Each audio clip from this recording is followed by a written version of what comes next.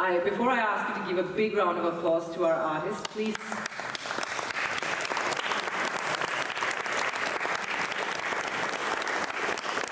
Could I please ask you to turn off your phones and yes. give the artists as much attention, uh, full attention that they deserve. And, and another big round of applause, please.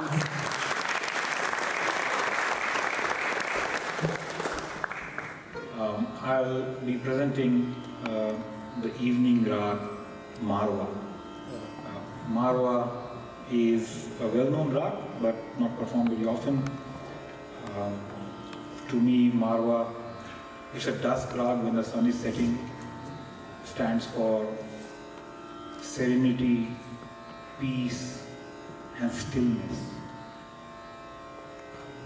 It's not often played on the sarod uh, because it's technically challenging. You can't take your fingers off the fretboard.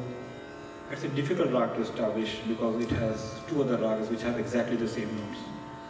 So, uh, hopefully, I'll be blessed with the spirit of Marwa and share that with you. Thank you.